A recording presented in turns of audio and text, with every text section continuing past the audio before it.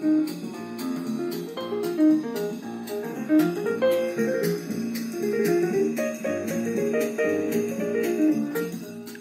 following is a comfortably zoned radio network production.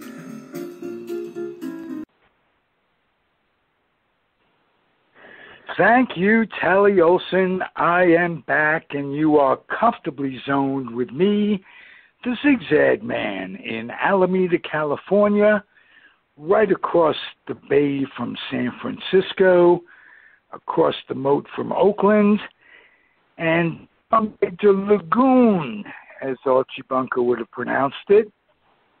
We are uh, having a heat wave in Alameda but it shouldn't affect anything because, as usual, I'm talking to one of the most interesting people on the planet. That's what I do. And um, Matthew DiBiase is no exception. How are you, sir? Well, trying to stay alive amidst all the madness and the chaos and the viral and the virus and everything like that. It's just every day, man. You just you wake up, you put your hand to your forehead, you know, and you check your throat to see can you swallow, you know, and just pray that you know they don't get you, man. Of course. I know. Of course. I know. What are you doing specifically? I'm just curious. Everybody's different. To take caution that you won't be um, infected. Well, I've been teleworking, so it's not like I'm going to a workplace. Uh, for the most part, though, about a, several weeks, about a, almost a month ago, we did go back to our workplace, but only uh, one or two days out of the week, and only for six hours, and very small skeleton crew. So I'm hardly with any people at all. I just keep to myself. I wear the mask. I wear a mask uh, mm-hmm. when I go grocery shopping. In addition to my mask, I also wear you know vinyl gloves and all that. Uh, you know, and I just I socially distance. You know, I stay you know I stay away from people when I run and when I walk. You know, I don't you know don't let people anybody get close to me and all that. And uh, somehow amazingly through the grace of God.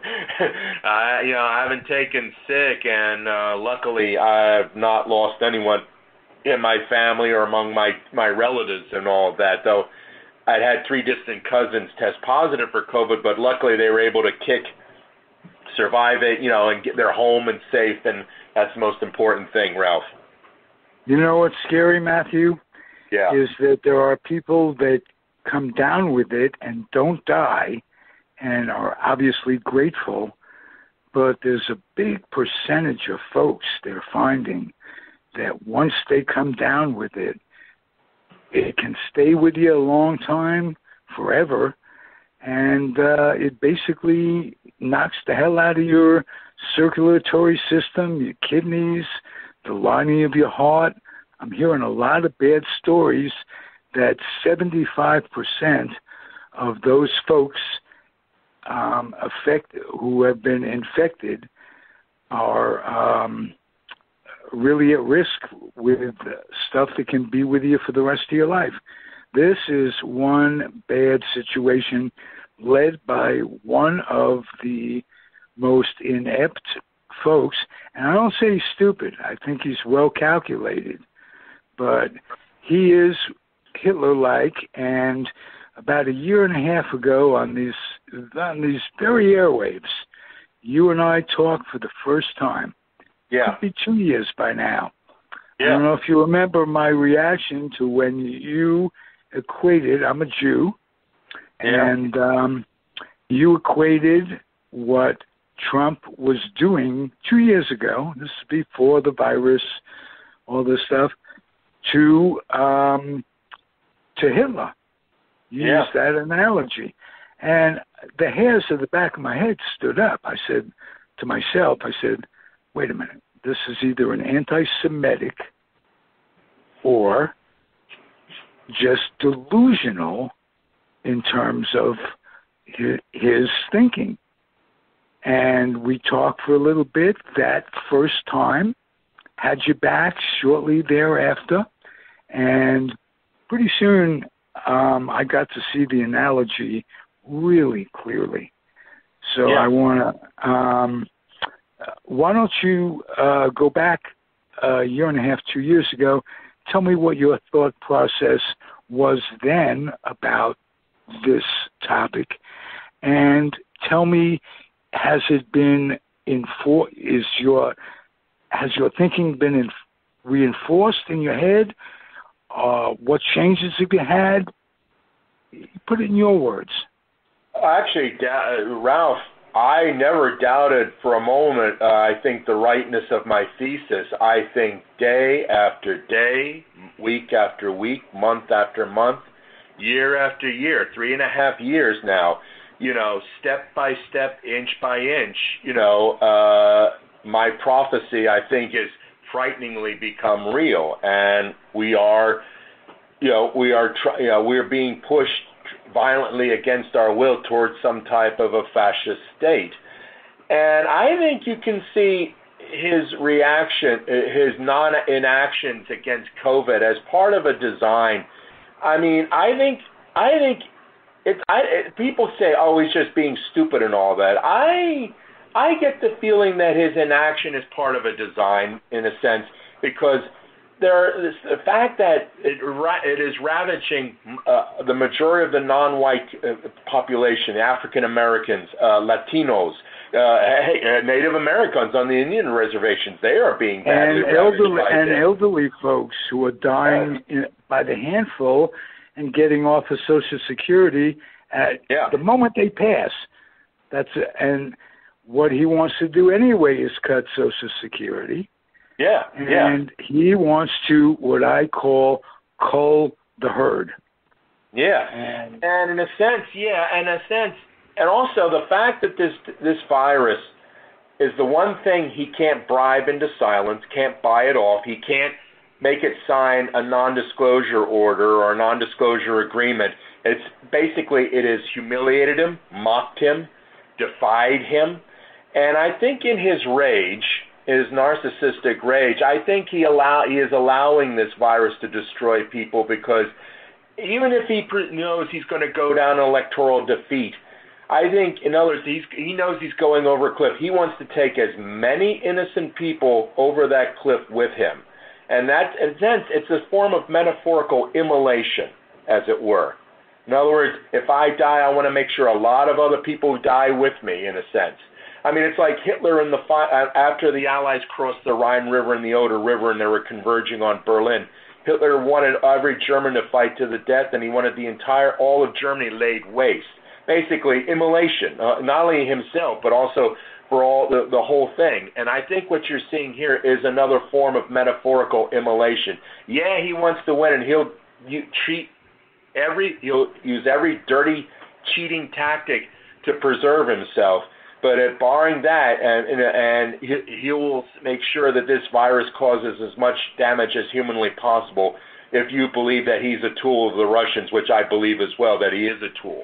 I mean, it just all it does is help you know our enemies abroad because our country is dying within and being destroyed. Our armed forces, everything, the economy, infrastructure, everything is being de- being destroyed by this virus.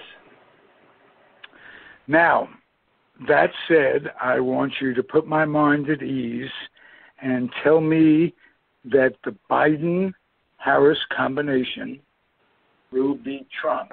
Now, I'm not one who thinks that, wow, now we got Biden Harris. Things are going to be real cool. They are no more ultra centrist Democrats that don't believe in minimum wage that can be negotiated, a sort of thing. I, I know. Yeah. Do you concur with that? It's yeah, not going to be Trump, notwithstanding. We got to get him out of there. It's going to be no utopia once these two are elected. Do you follow me on that?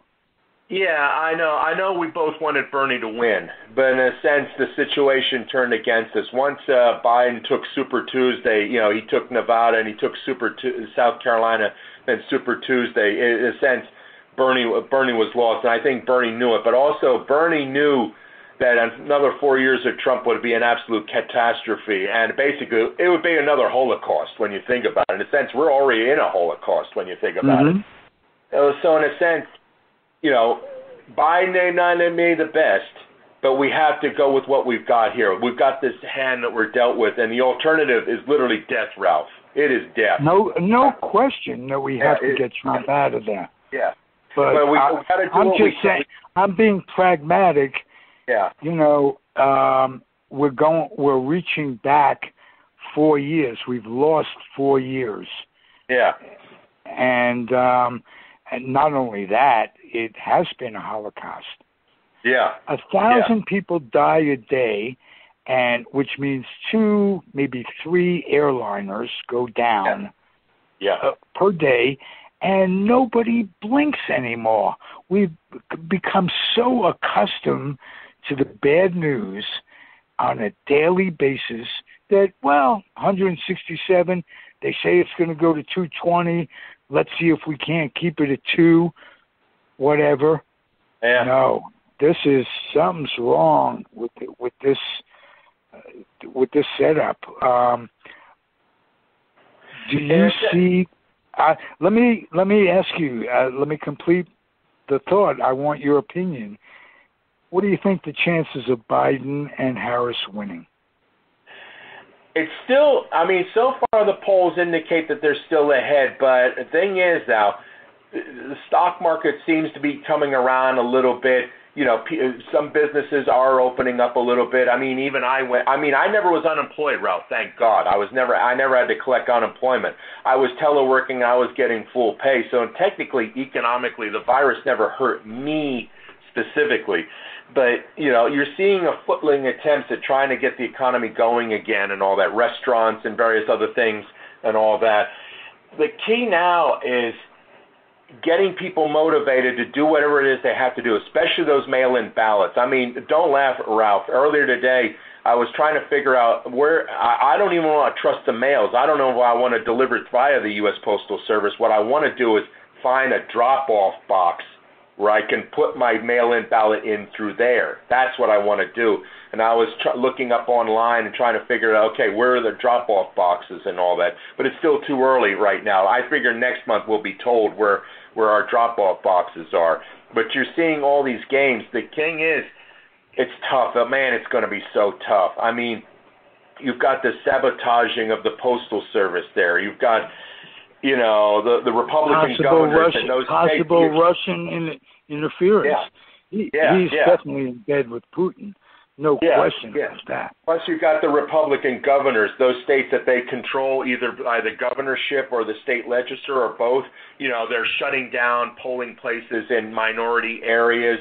They're trying to put the kibosh on mail-in voting, making it as difficult as humanly possible to you know, to do that. You know, forcing people you know to go uh, go hunting tens, hundreds of miles out of the way just to cast a vote, like they did in Kentucky and in Wisconsin. You know, and things like that. Uh, it's it's going to be so hard, and the key is, in a sense, what we got to do is we got to take it to the streets, Ralph. I mean, basically, what we saw in the summer with people taking the streets for George Floyd, we got to convert that what they did for George Floyd and Arbery and all those people, and, and translate it into ballot power. In other words, you know, do whatever you can, educate the public. In other words, find your drop-off And, box. Okay, and get post- out and get out the vote.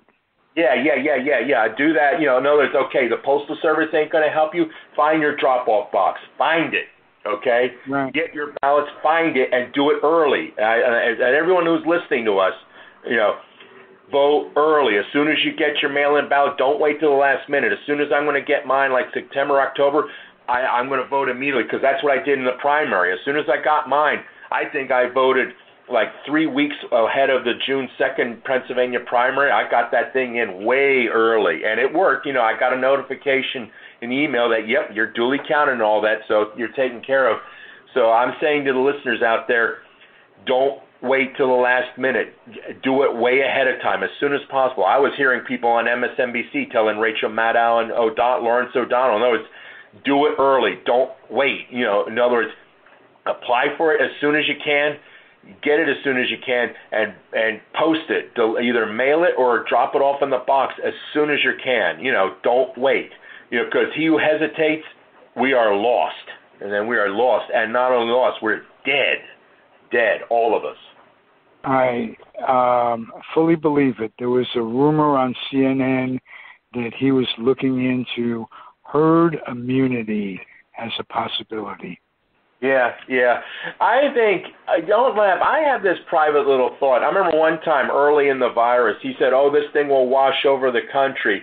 And he is so incapable of metaphysical thought. I have this theory, Ralph, that sometime like October, November, he knew about it, and he may have been talking to some of his so-called Christian conservatives, and I think one of them told him, in other words, this is this is God's scourge against the liberals, you know, and and the and all the minorities and all that. It's God's punishment. Let this thing wash over the country, and and once they're all dead, then we'll make we'll make America safe for white people. You know, all that racist, you know, nonsense and all that. And he just that's what he was doing was echoing that, and I think he believed that. Now, it would only kill minorities. You know, it would only kill certain groups, especially those cities and those states that voted against him. That's why he let it happen. You know, he wanted it to happen. Basically, genocide on the cheap, Ralph. That's my theory. Genocide on the cheap. I don't know if he's that deep a thinker. Yeah, but he's got aides who are that capable and that ruthless and that amoral, like Stephen Miller and Kushner. Miller, you know? that's the first guy I would think of. Yeah, think Miller, of. you know, Barr. I mean, they they they they're murderers. I mean, they're they're enablers, and hey, they're uh, like McConnell. They're all working towards the Führer. They're all working towards the Führer. You know. M- McConnell said something the other day, though, that really I looked into to his little beady eyes and believed him. He said, They've been having elections in this country for 200 years. I guarantee you that on November 3rd, we're going to have an election. Yeah. Now, that that was encouraging to me. And there are Yeah. a number of other Republicans that seem to be falling off the uh, uh, what do you call it? The idiot train. Yeah. Um, and uh, Romney's not the only one. And this is really strange. Yeah. Me saying Romney's a good alternative, this, that, and the I thought he was a horrible candidate. I thought that he's, um, uh, for a number of reasons. But uh, look how far we've regressed in eight years or Yeah. 12 years. Yeah. But the thing about Um, Romney is he's playing all seven ends against the middle. I know what he's trying to do. I think with the impeachment vote he did, yeah, technically it was courageous, and God bless him for it and all that. But what he has, what he's thinking of is 2024. Let's say through the grace of God Almighty that uh, the Fuhrer goes down in flames on election day in November this year, and we, you know, Biden takes over. Biden Harris become the new administration. uh, God hope, you know, God willing. Then you have to figure where where does the GOP go then? Because you know, I either there's going to be the doggone scramble for power in New York. You're going to see is a Republican civil war. It all depends on if you prosecute Trump, and I hope to God we do prosecute him. Not just him, but his entire stinking crew, his his his sons, Ivanka, you know, Kushner, you know, the whole. You have to prosecute the whole stinking lot of them because if if they're if some of them are still out, they still retain control of the party because they still got the Russian money backing their play. What you have to do is basically prosecute the entire lot like Nuremberg. Do it like a Nuremberg trial with that that family and and all their allies, Barr and Miller and all the whole stinking lot of them. And what you have to what is left is who's going to run the Republican Party. I mean, is it Pence? Is it Ted Cruz at Texas? You know, they're they're they're trying to jockey for position. You've got Romney, but also that guy Cotton from Arkansas, that that Klansman, that uh, Senator Cotton from Arkansas. Now that's a he's a dangerous dude. Romney, Romney seems to have a heads up on that, and I will assume it would be him. Who would you vote for if Romney were to run against Biden? Parties notwithstanding, who's a better still Biden, candidate? Still, still Biden, man. Because hey, you know, Romney is still a corporate. You know, he was still that corporate type. You know, making America safer corporate fascism. Seriously, I mean, he's a Wall well, I got to tell you that. that Biden is in in cahoots with the with the drug companies, the big farms, and he doesn't necessarily want people to make a workable wage. Yeah, He's, but the thing, um, yeah. yeah.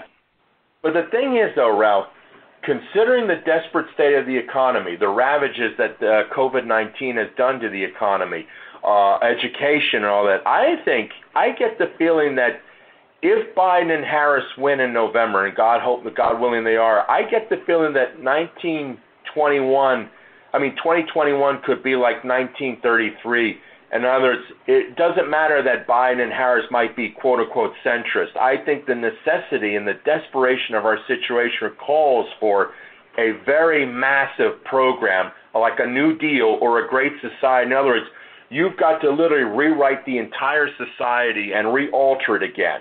I think I think you're going to see a potential for a sharp uh, shift to the left. I basically Bernie stuff, you know, Bernie Sanders light, as it were. You know, I think I don't think Mhm. Bernie's going to be denied. I think you're going to see some aspects of Sanders, you know, Bernie Sanders's programs because hey, Bernie's platform is the future of the Democratic Party. It is the future of American liberalism, and Biden and Harris would be stupid to ignore that fact. I because you notice in the in the primaries, you know, before all the primaries were, all the candidates, you know, with maybe one or two exceptions, were taking notes out of Bernie Sanders' playbook. There were so many echoes on various aspects of his thing in terms of health care, education, you know, uh, you know, taxation of the wealthy and all that. I think you're going to see a sharp shift to the left. I think Biden knows the tidal wave is coming. He knows the future. He knows he needs that support, especially from the young kids, the young kids who were campaigning for Bernie. He's got to he's got to appeal to them. He's got to revamp education. He's got to revamp the, the tax code. He's got to do a lot of things. Improve mail-in balloting. You know, expand rights for an African American. You know, for for non-white people. He's got to do it. He uh, they he he couldn't win on the nomination without their help. So he's really got to be more liberal than he probably would have originally intended. So.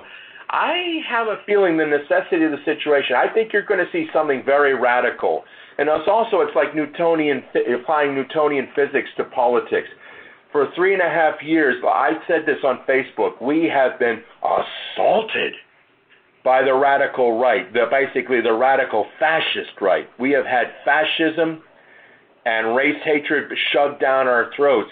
And it's like the old adage: for every reaction, uh, for every action, there is a reaction.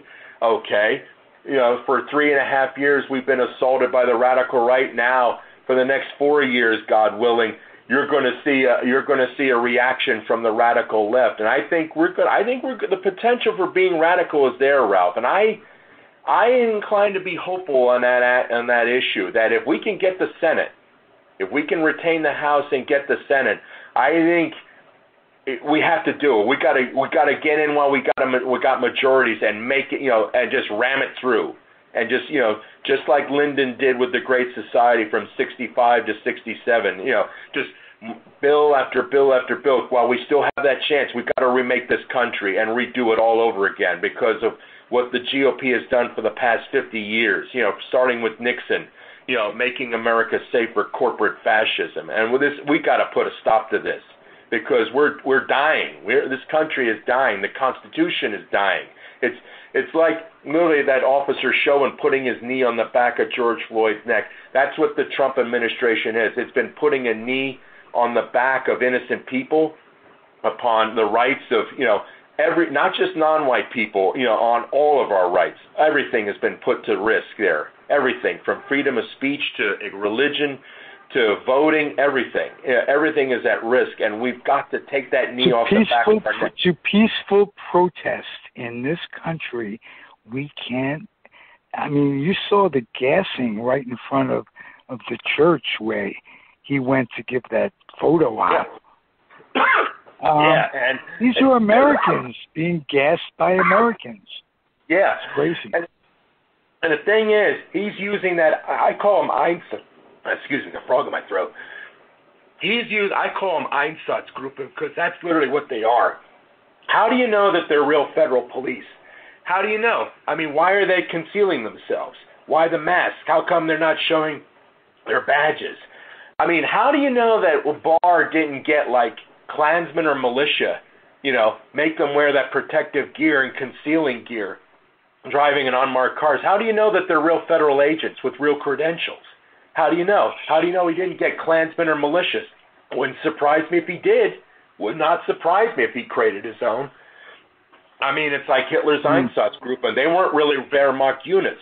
They were SS units, and don't laugh, some of those Einsatzgruppen would recruit people from local populations to help with the extermination of Jews. Like in Lithuania, they got Lithuanian Germans to help out with the roundup of Lithuanian Jews and their extermination. In Yugoslavia, they used Bosnian Muslims to exterminate Yugoslavian Jews. And, and, hey, and they also they also used the Catholic Church to yeah. identify and round up Jews. Yeah. yeah. In I know in Poland for sure. Yeah. I know. I hmm. think Slovakians were like sympathetic, and they would use Slovaks, you know, to exterminate, you know, Czech, you know, Czech Jews and Slovakian Jews and all that. So there was cooperation amongst the Einsatzgruppe. Not they weren't all German. They would use you know ethnic enemies of the indigenous Jewish population in the occupied territories to you know wreak ter- terror. I mean, if he's using militias and uh, and Klansmen as Einsatzgruppen, you know, first Portland was the test the proving ground and he wants to put it in uh, in major cities like Cleveland, you know, Cleveland, Chicago. And here's my prediction: if he's doing that in cities with there's significant African American or minority populations, like Philadelphia, uh, also the leadership is led by African Americans or by minority uh, leadership, city council and mayor, in, in the mayoral office. I think if he's using those Einsatzgruppen, I think you're going to see genuine bloodshed because if you if you create a genuine bloodshed on the streets, that too could be a way of interdicting election day. I mean, how can you conduct an election? You know, if you got shooting in the streets there, you know, uh, with Hitler's, uh, I mean, with I call Hitler Freudian slip, the Donald Einsatzgruppen and shooting in the crowds and all that. I mean, imagine election day. You got long lines at polling places. What's to stop those uh, those guys from coming? Oh, this is a riot, and they start tear gassing lines of voters to just to make sure they don't vote, Ralph. Think about that, Ralph. Think mm. about that. Using tear gas. Oh, this is a riot. It's not a riot. Oh. It's just a long line of people waiting to vote, their turn to vote, and they tear but gas. They call it a riot. But they call it a riot. Yeah, but think of that potential, Ralph, to stop voters.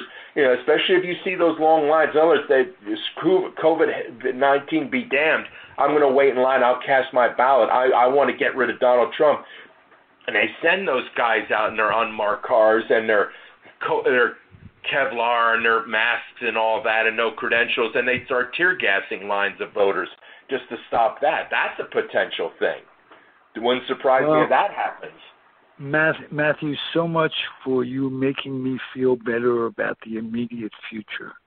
I know, sorry, but hey, the potential. No, I would ra- believe yeah. me, I'd rather hear it if it is, whatever yeah. way it is, than not yeah. hear it. Um, yeah. Knowledge is power, and that's why I have have you on. Yeah. Just don't, um, yeah. don't laugh. The Philadelphia District Attorney, the City District Attorney, his name is, his name is Krasner.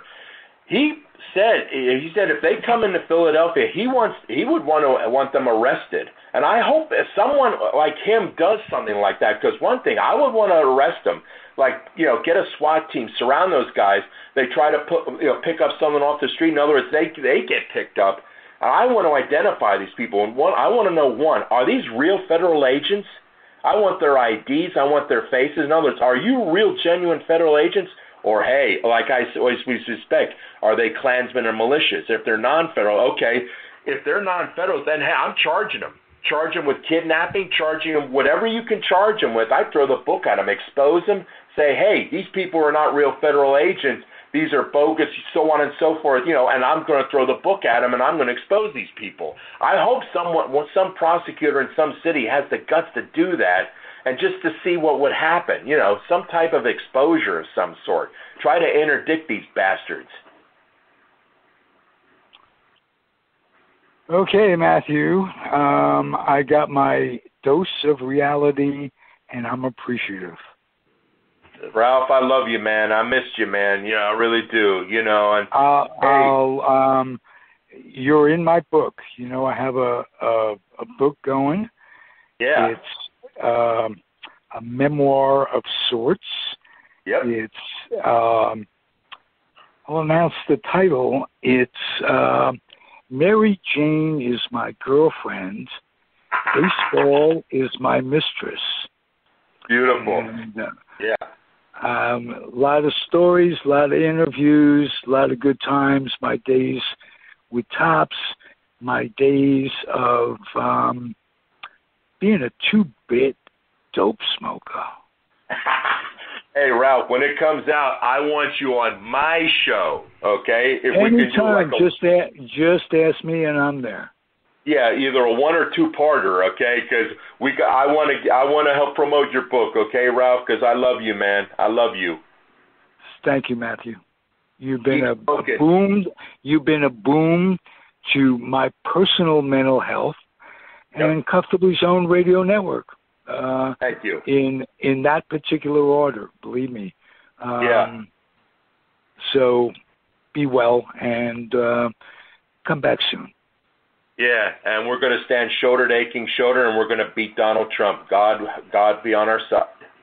Yes. Well, um, or goddess. Yep, yep, yep, yep, yep.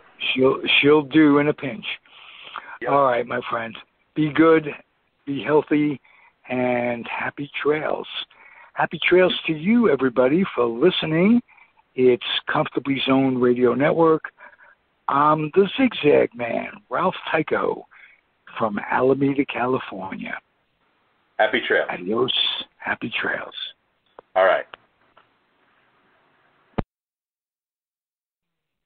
The proceeding has been a comfortably zoned network production. You are advised to keep your dreams wet, your humor dry, your children and grandchildren out of military recruiting offices and off the laps of clerics who wear dresses. Thank you for listening, everyone. Happy trails.